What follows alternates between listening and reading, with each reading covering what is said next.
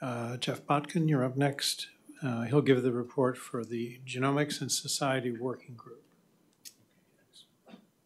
All right, well, thanks for this opportunity to uh, give you an update on where we've been over the last year or so with the Genomics and Society uh, Working Group. Uh, Here's our mission. Provide council uh, advice on short and long-term planning, priority setting for genomics and society activities, particular emphasis on uh, research. Here's our group, uh, and it's really a privilege to work with this uh, group, just an outstanding group of folks from across the country. A lot of good uh, disciplinary uh, uh, diversity as well as uh, diversity of perspectives on a lot of these issues. And we also just want to thank the staff for their outstanding support. Nicole, in particular, Lockhart is supportive of our group, and unfortunately, I guess can't be here today. She's nursing herself and the rest of her family today. So it's been a real pleasure to work with this group.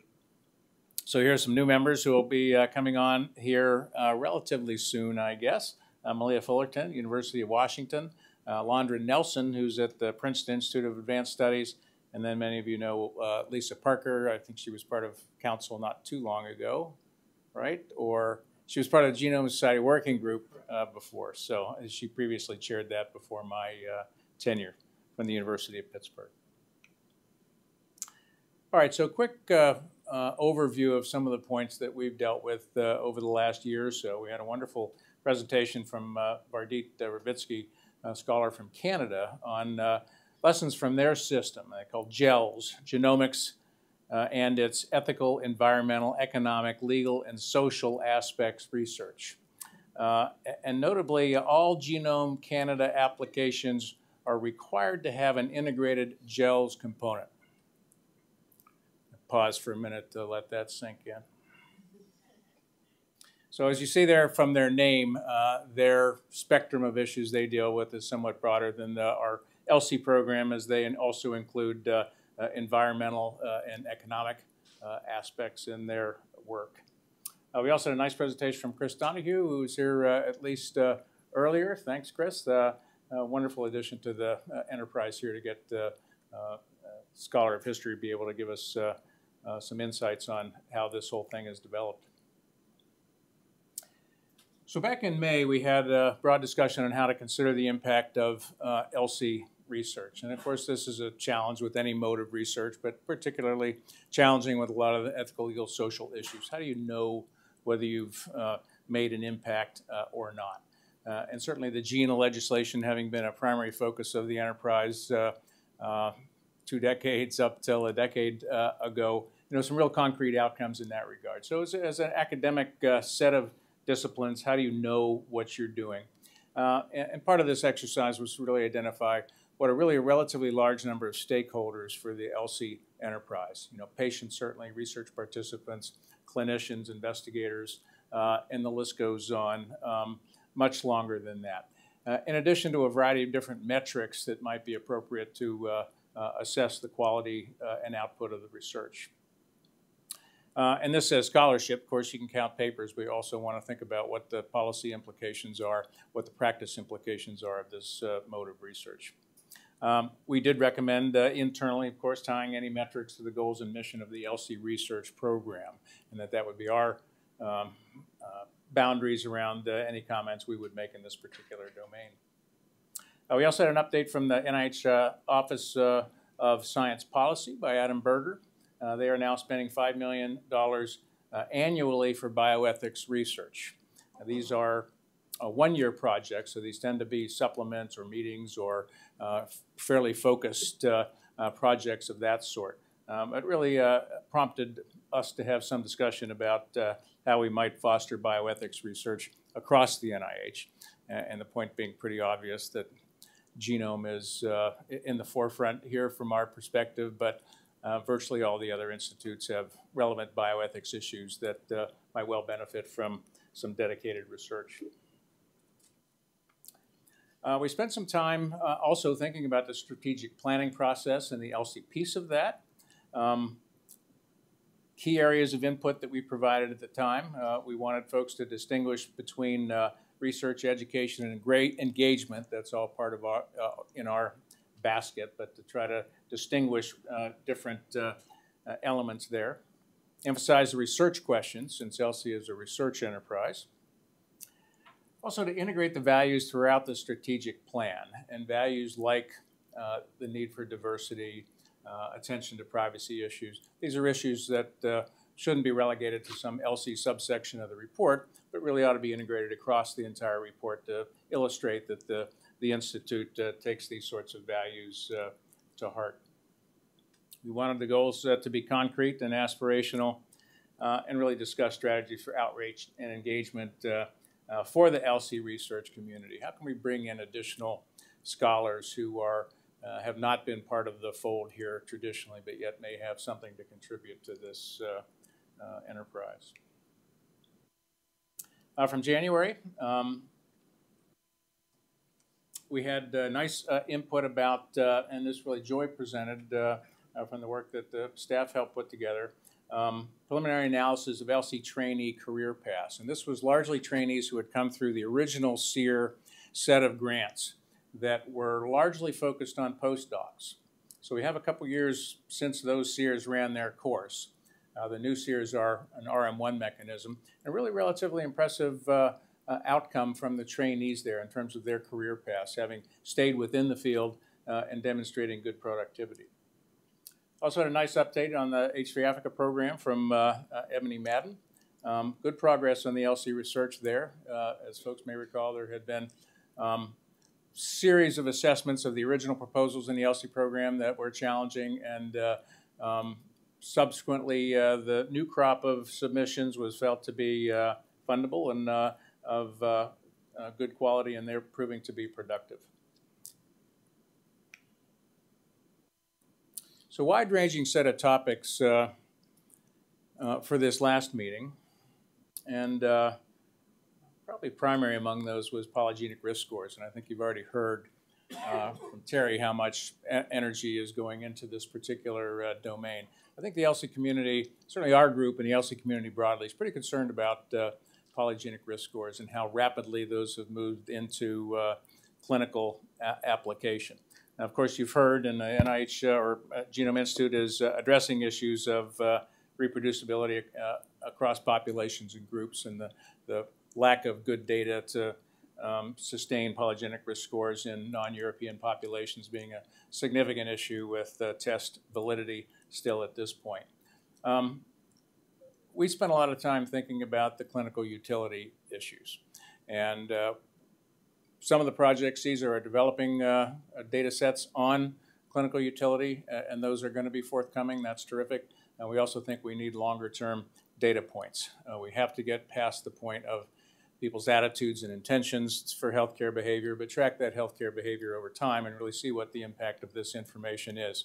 You know, obviously for folks who are increased risk, but those two who are decreased risk. I think there's a perception at this point that there's not good clinical guidance for clinicians. What do you do with a patient who's got a four time, 4x relative risk of cardiovascular disease or uh, what have you? And I think clinicians uh, might well benefit from some focused uh, recommendations about here's the best evidence we have uh, for how you ought to respond to patients who are coming in with this type of information. And I think we're quite concerned about the expansion of uh, polygenic risk scores into behavioral traits uh, and prenatal testing. Reports of companies uh, testing embryos for intellectual capacity, testing children perhaps for school and learning aptitude, these sorts of things we uh, think are a serious concern and may well um, tarnish the genetic enterprise if this turns out uh, uh, to be uh, um, entirely unvalidated information. Also talked about genetic genealogies and forensic uses there. A very hot set of topics uh, right now. Many states are beginning to think about uh, state level policy to deal with uh, um, using genealogical information for tracking violent criminals. Um, so active area for policy uh, development there. Uh, and it's un still unclear, I think, at this point, how much the general population is concerned about this uh, issue. Uh, I think there's some data out there that suggests there's a pretty broad split in the population. We know the companies are very much opposed to the use of the data in this fashion, uh, but the general population, we're less certain uh, about how people are responding to these non-clinical uses of genomic information.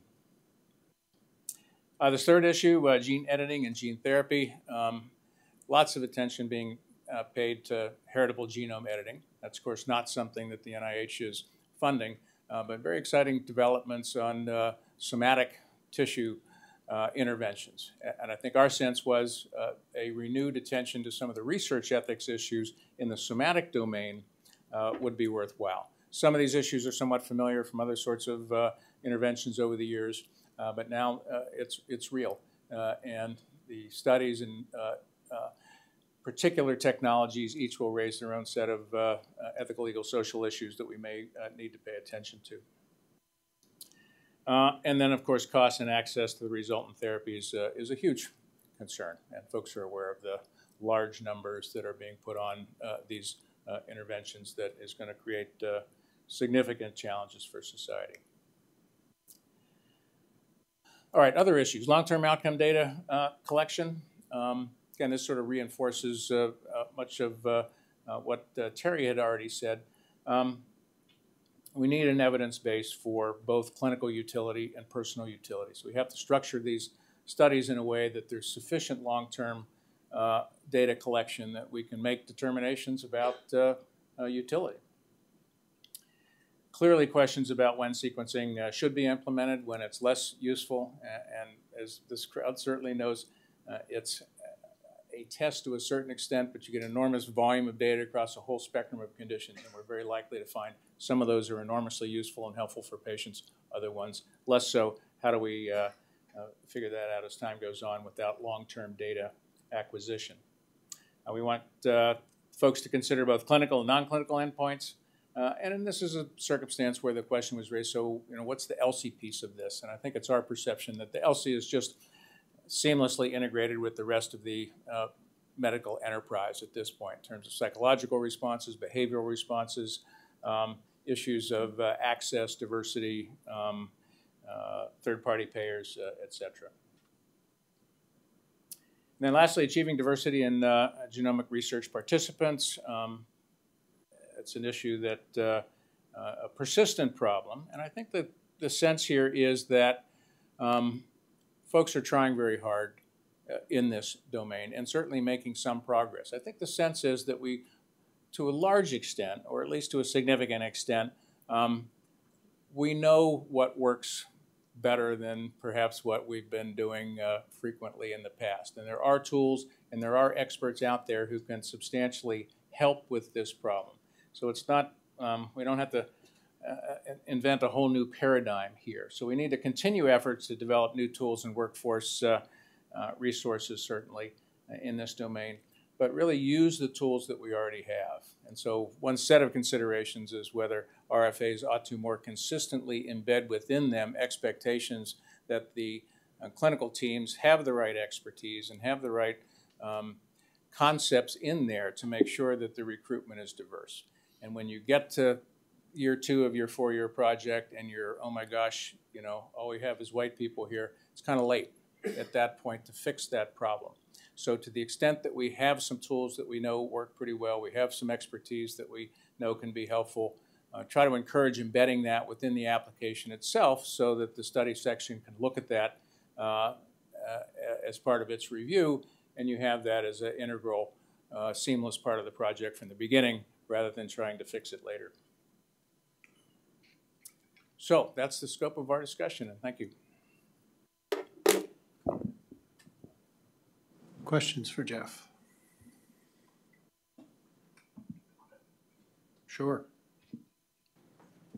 Yeah, I appreciated some of the discussion points that you raised, and I just had another discussion point to add to the polygenic risk score concerns. I think I didn't see this language used, but I think the language that might benefit some of the points you're making here is that of interpretability or lack thereof. So PRS scores, as we've talked about in previous council meetings, are a type of predictive model. And unlike more simple genetic predictors, like, you know, gene X is mutated, indicate or counter-indicate this drug, those simple ones are, typ- are, are typically mechanistically interpretable. You know why where you have some explanation why when you mutate the single gene, you get drug resistance or sensitivity, say in that P450 or whatever, right?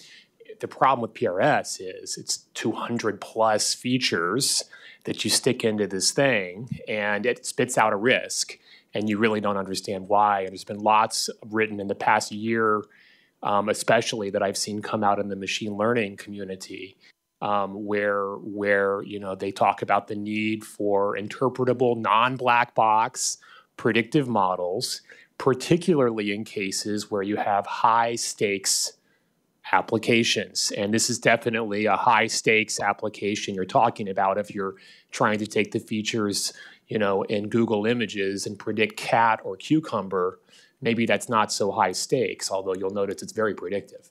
Um, but if you're trying to take the features in your genome and predict your risk to cardiovascular disease, that's a high stakes application.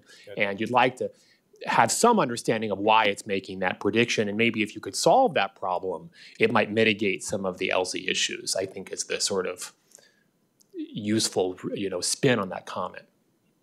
Good. I, I- like that uh, comment quite a bit, and I guess it, from a clinical standpoint, um, without that sort of, I, I mean, part of the issue with a lot of the uh, previous generations of genetic testing, uh, mutation positive, mutation negative, mutation positive folks, certain age, you have something you know what to do, right? At this point, without any underlying mechanism and uh, having a continuous variable where Maybe a response at uh, three, relative risk of three is different than eight. Maybe it's different when you're 15 versus 75. Um, man, well, I mean, there's so many variables that then go into this that uh, um, it's uh, uh it's going to be a huge challenge for quite a few years. Just a quick question. So who's driving it the most, uh, the use of the poly, of the uh, polygenic risk scores? In this context where you're talking about, especially when it's with respect to, you know, intelligence and this sort of stuff? Uh, it's the direct-to-consumer testers for the I most see. part who I think are And- driving this, and then some of the, um, it's the commercial, uh, I think, folks who are definitely driving this uh, uh, enterprise from my perspective. Yeah, I- I'm not sure that's totally fair. I mean, several of the largest groups um, publishing what they think is the clinical impact of their polygenic risk scores are large academic medical centers. I mean, there are a lot of gene- clinical, uh, I won't take clinical geneticists because they're not all medical geneticists, but there are many physicians working in this space.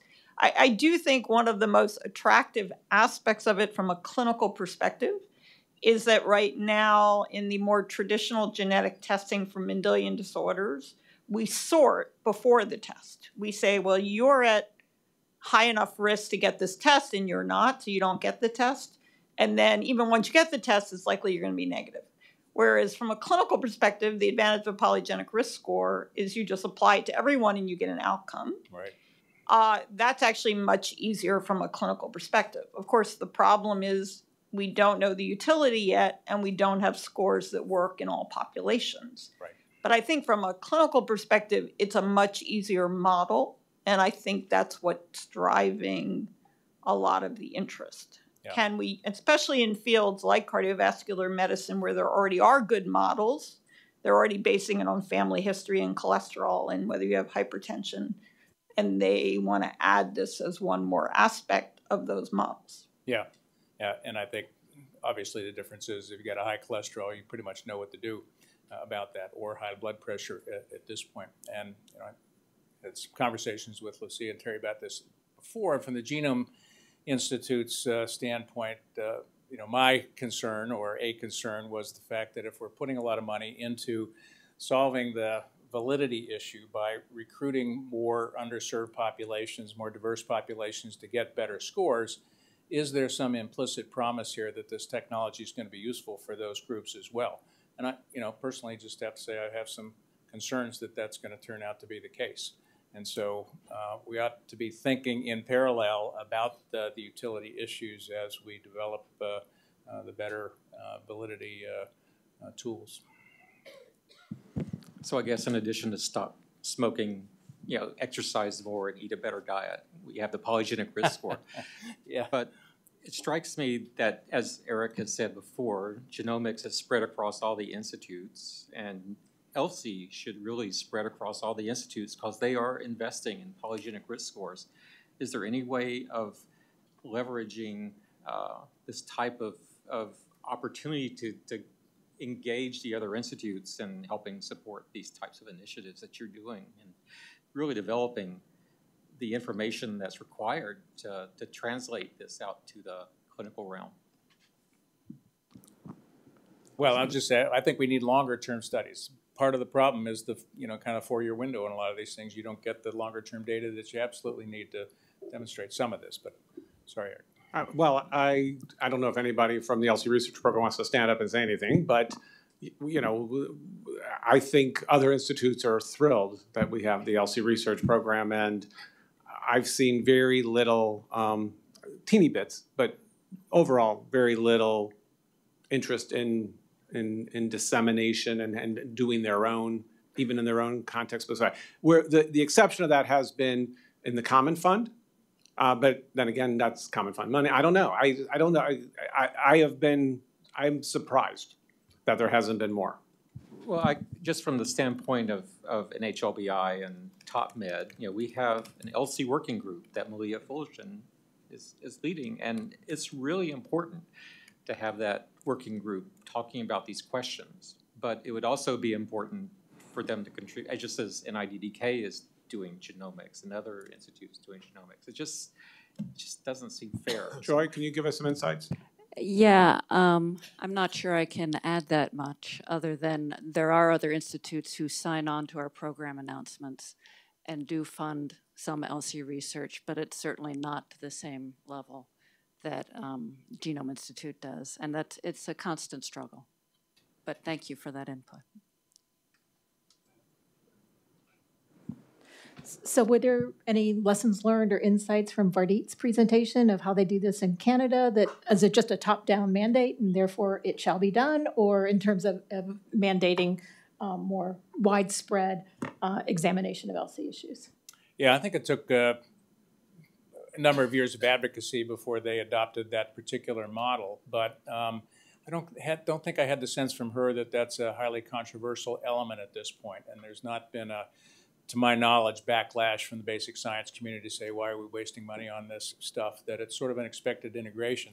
Now, and I think as she described some of the projects, of course, it would be minimal. Uh, there just aren't uh, interesting L- ELSI issues, but uh, at least folks have to deal with the issue. And to some extent, that's how NIH is dealing with other kinds of uh, issues. Uh, you know, you now, at least part of the IRB regulations, you have to say whether or not you're going to return results. And part of the NIH application, you have to say, are you going to enroll kids or not? And if you're not, tell us why not. If you are, tell us how you're going to do that. You know, this could conceivably be uh, uh, something along those lines to say, speak to the ethical, legal, social issues, and if they're not relevant to your project, say so. If they are, how are you going to deal with them? Uh, Just relevant to the question about other institutes, so, and return results. So NCI is actually having a two-day meeting, June 8th and 9th, specifically about returning results um, to study participants. So I, I think certainly there's a lot of interest there. They've, they've lagged behind in many of their studies returning results compared to NHGRI, but certainly a topic for them. And the other thing I was just going to say, since you mentioned direct to consumer, I do think one of the challenges, and maybe your committee wants to look at this, is at the same time that I think some groups are really pretty thoughtfully trying to roll out polygenic risk scores in a clinical setting. There are both direct to consumer and frankly direct to physician. Yeah. There are many companies offering a variety of genomic polygenic tests to uh, practices that want to be able to show they're using genetics. And so you have kind of these streams happening at the same time um, where you have people trying out polygenic risk scores in kind of large settings, and then you have commercial products where people are getting all kinds of predictions from their from a physician's office or direct to consumer that are not based on nearly as much robust. And the confusion I think that's generating in the field is pretty significant. Yeah. It's good. Thank you. Okay, thank you. Thank you, Jeff. Uh, I'm going to let Eric introduce the next topic, and Ellen, do you want to come up? I need to get my slide.